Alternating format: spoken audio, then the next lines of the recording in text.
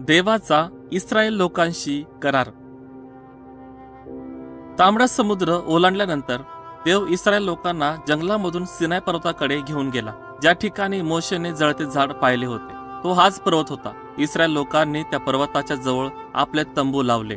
देव मोशेशी व इस्रायल लोकांशी बोलला जर तुम्ही माझे नियम व करार पाळाल तर तुम्ही माझे विशेष निवडलेले लोक व्हाल व राजकीय याजकगण व पवित्र राष्ट्र असे होणार. तिसऱ्या दिवशी इस्रायल लोकांची आध्यात्मिक तयारी झाल्यानंतर देव सिनाय पर्वतावर उतरत असताना मेघ गर्जना विजेचा अतिप्रकाश धूर भयंकर शिंगांचा नाद या देव पर्वतावर उतरून आला.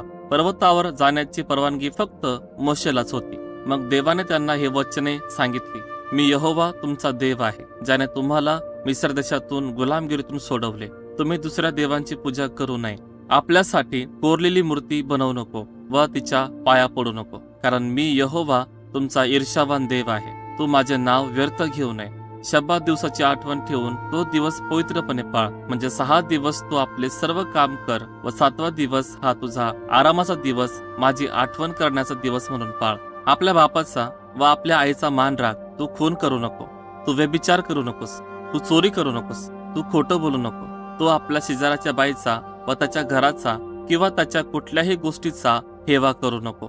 मग देवाने या दहा आज्ञा दगडाच्या दोन पाट्यावर कोरून लिहून मोशेकडे दिल्या. देवाने त्यांना पाळण्यासाठी आणखीन दुसऱ्या आज्ञा व विधी पण त्यांना दिले. जर त्यांनी हे सर्व आज्ञा व विधी पाळले तर देव त्यांना आशीर्वादित करेन व त्यांचे रक्षण करेल असे अभिवचन त्यांना दिले. जर त्यांनी तसे केले नाही तर देव त्यांना त्याची शिक्षा करेल. देवाने इस्रायल लोकांना त्याच्यासाठी एक निवास मंडप करण्यासाठी पूर्ण माहिती दिली. याला निवास मंडप म्हणत असे. यामध्ये दोन खोल्या होत्या आणि त्यांना वेगळे करणारा एक मोठा पडदा होता. पडद्याच्या पाठीमागे असणाऱ्या खोलीमध्ये फक्त महायाजकच जाऊ शकत होता कारण तेथे देव राहत होता. देवाची आज्ञा मोडणारा प्रत्येक माणूस त्या निवास मंडप समोर असलेल्या वेदीवर देवाला होमार्पण करायला पशु आणत असे. त्या पशुला मारून त्याचे त्या वेदीवर होमार्पण करत असे. त्या पशुच्या रक्ताद्वारे त्या माणसाच्या हातून घडलेले पाप झाकले जाऊन तो माणूस देवाच्या मर्जीने शुद्ध होत असे. मोशाचा भाऊ अहरोन व अहरोनाची मुले यांना देवाने आपले याजक म्हणून निवडले होते. देवाने दिलेल्या आज्ञा पाळायला व फक्त त्याचीच पूजा करायला त्याचे खास लोक होण्यास इस्रायल लोक सहमत झाले. पण देवाला आज्ञा पालन करण्याचे वचन देऊन थोड्याच दिवसांनी त्यांनी खूप मोठे पाप केले. भरपूर दिवस झाले मोशे शिनाय पर्वतावर देवाशी बोलत होता. लोक त्याची वाट पाहत पाहत कंटाळले म्हणून त्यांनी सोने आणून त्याची मूर्ती बनवण्यासाठी ते सर्व अहरुणाकडे दिले.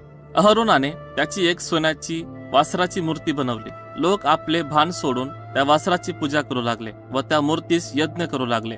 त्याच्या ह्या पापामुळे देवाला खूप राग आला व त्याने त्यांचा नाश करावा असे ठरवले. पण मोशेने त्यांच्यासाठी प्रार्थना विनंती केली आणि देवाने त्याची प्रार्थना ऐकली व त्यांचा नाश करण्याचे टाळले.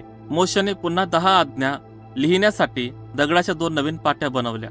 कारण पहिल्या पाट्या त्याने रागात फोडल्या होत्या. मग मोशेने त्या मूर्तीचा बारीक चुरा केला व चुरा त्याने पाण्यात टाकून ते पाणी लोकांना प्यावास दिले. देवाने इस्रायल लोकांवर भयंकर पीडा पाठवली व त्या पिढेमध्ये बरेच इस्रायली लोक मारले गेले. मोशे पुन्हा सिनाय पर्वतावर गेला व त्याने लोकांच्या पापक्षमेसाठी देवाकडे प्रार्थना केली. देवाने मोशेचे ऐकले व त्यांना क्षमा केली. मोशे दहा आज्ञा लिहिलेल्या नव्या पाट्या घेऊन खाली उतरतो. मग देवाने सिनाय पर्वतापासून वचनदत्त देशाकडे जाण्यासाठी इस्रायल लोकांचे मार्गदर्शन केले.